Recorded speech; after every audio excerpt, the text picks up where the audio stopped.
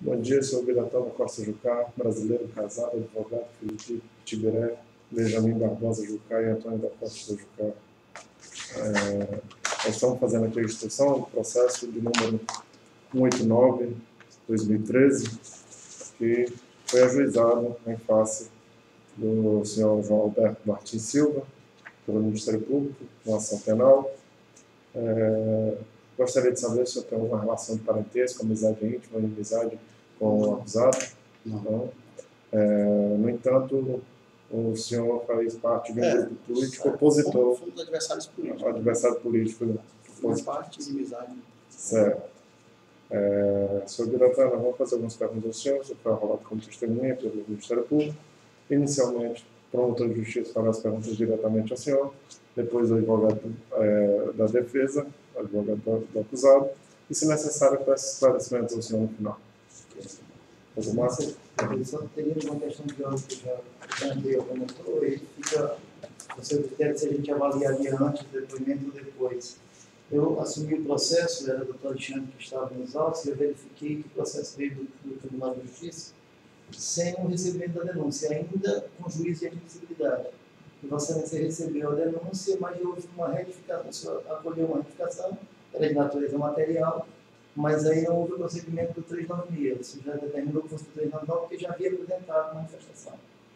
É só para só questionar se há algum, ao seu, ao seu ver, alguma ilegalidade em relação a. Como não houve nenhum prejuízo e, a, e a, o erro era meramente material, né, foi apresentada a defesa oportunamente, é, havendo juízo de admissibilidade, eu acho que, não havendo prejuízo, a gente não tem por que regredir e repetir a, a mesma fase. Então, ao final, a gente então, só, só faz constar na ata e segue a instrução normal. Isso, ok.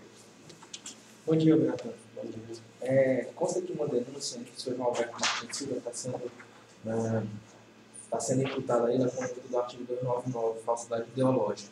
Porque, segundo consta, nesta peça acusatória aqui, ele teria informado que é, tinha disponibilizado à Câmara Municipal, em 2007, a prestação de contas, teria informado isso ao Tribunal de Contas, porém, é, na verdade, ele não fez isso. Inclusive, a própria Câmara Municipal informou que não tinha recebido a cópia dessa prestação de contas.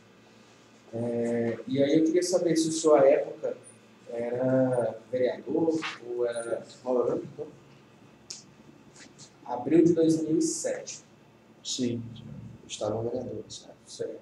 E segundo consta aqui, nos dias 13 de abril de 2007, 2 de abril de 2008 e 2 de abril de 2009, ou seja, por três anos, o denunciado João Alberto, na condição de prefeito, protocolizou lá no Tribunal de Contas uma mensagem é, informando da, da prestação de contas, bem como dizendo que já tinha encaminhado a cópia dessa prestação à Câmara. Todavia, a própria Câmara, aqui, segundo consta na denúncia, por intermédio do Rogério, é Rogério Oliveira Freitas, informou que não tinha recebido nenhuma dessas prestações de contas relativas a esses três anos, 2006, 2007 e 2008. Ou seja, ele teria afirmado ao Tribunal de Contas que teria feito uma coisa, mas na verdade não fez. Então, o senhor era parlamentar nessa época. O senhor teve conhecimento a respeito desses fatos? Então, eu, sinceramente, eu, não me parece que isso, em uma das, das sessões foi, foi ventilado essa, essa, esse fato, mas eu não, não me recordo exatamente qual seria o ano, uhum. mas é, foi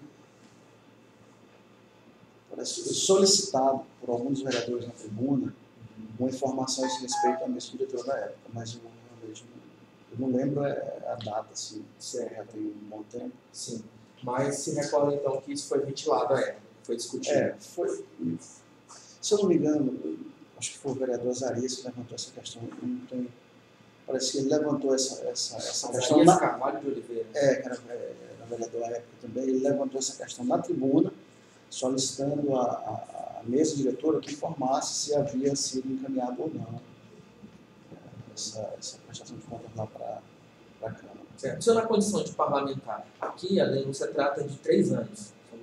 É, é um fato que se repetiu né, durante três anos, 2006, 2007, 2008, pelo menos consoante consta aqui. O senhor, na condição de parlamentar, pode nos afirmar se era de costume a Câmara Municipal, nessa época, receber da Prefeitura a cópia da prestação de contas? Sim, é, a Câmara aí, eu, eu vi várias, eu não sei precisar os anos, mas tanto do, do, do então prefeito na época, do João Alberto, como também de ex-prefeitos. É a cópia mesmo que era enviada ao tribunal. Eu não sei porque eu não, não, assim, eu não vi a, a cópia que foi enviada para o tribunal, mas creio que sim. O senhor chegou a conversar à época com algum parlamentar a respeito desse fato? Algum colega? Eu, eu me recordo com as Arias sobre esse fato. Mas eu, ele, se eu não me engano, acho que ele era o primeiro secretário dessa época. Consta aqui as folhas 3, uma certidão José Lopes da Rocha. Era José Lopes da Rocha, né?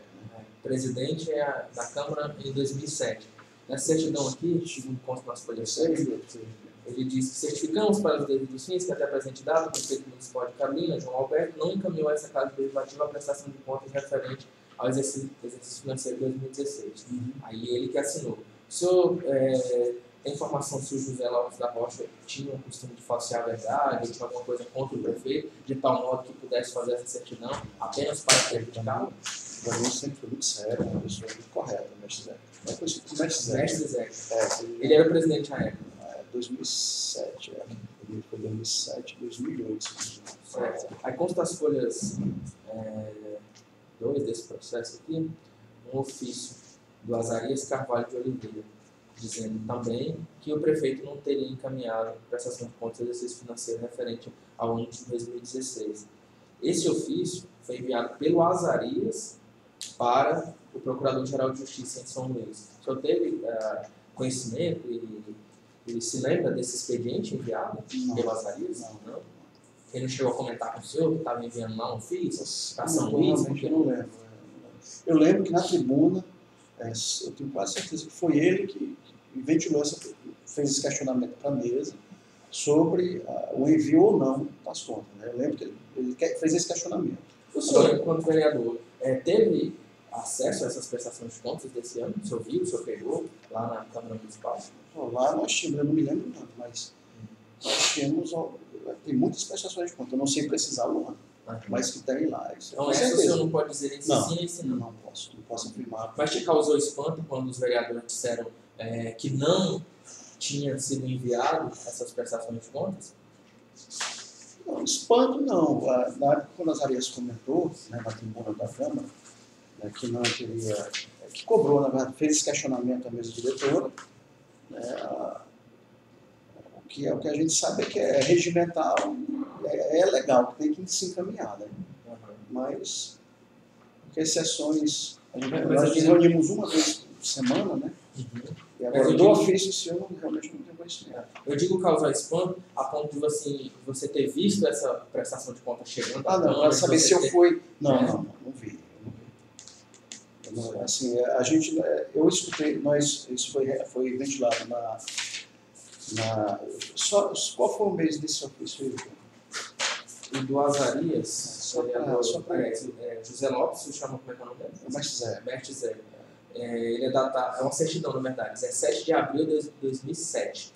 17 de abril de 2007. É, é porque teve um período de 2007 até 2009 até final de 2009, até 2010, que eu fiquei muito ausente. Meu filho teve problema de saúde uhum. e, e, esse período eu fiquei muito, muito ausente, muito ausente certo. mesmo. Né? Então, assim, é, várias sessões, eu cheguei até a me afastar no período da Câmara mesmo, foram três anos, 2007 até acho que maio, março, abril de 2010 por aí.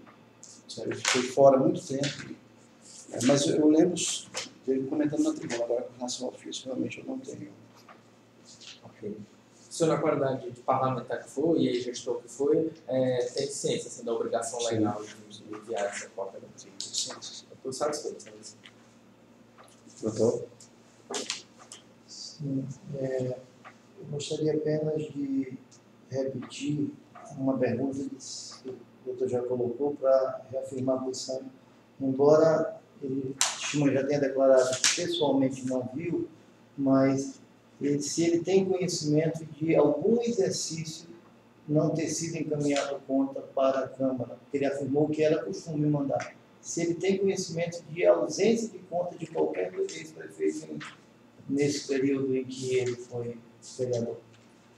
Não, não se É, o único fato foi isso, ventilado na tribuna. ventilado na tribuna foi esclarecido. De ter se questionado, de ter se afirmado a ausência. Não. Realmente. O senhor é, tem conhecimento de se nessa época houve o encaminhamento de alguma documentação, mas que não a prestação de contas é, como deve ser, seguindo todas as regras, com todas as formalidades? Tô, sinceramente, eu não lembro. É, muito tempo, são 10 anos.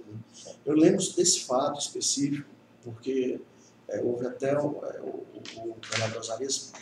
Quando houve, só, só para complementar então, quando houve essa manifestação, o senhor recorda é, que houve na, na, na Câmara, na tribuna, é, essa manifestação do vereador Azarias, ele, ela se referia a uma prestação de contas ou a mais de uma Não, prestação? há uma prestação Há uma de contas. É. prestação de Ele, contas. é, ele falou que ele, ele questionou, na verdade, no dia que nessa sessão que eu estava presente, ele questionou a mesa se a, a prestação de contas do ano antecedente Aham. teria sido encaminhado conforme prevê o regimento. Né?